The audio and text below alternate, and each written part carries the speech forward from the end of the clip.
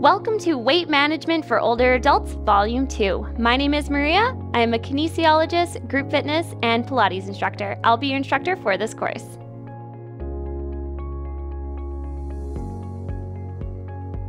The benefits of this course include improving your cardiovascular health, which will lower your risk for disease. It will help you build lean muscle mass, which will improve your metabolism. It will also help improve your mood, which will help you manage your weight.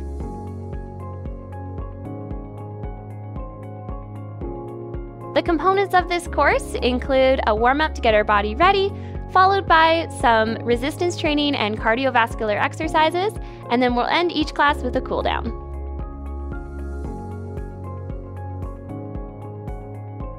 I designed this class for older adults who are looking to up the intensity of their exercise routine to help them manage their weight.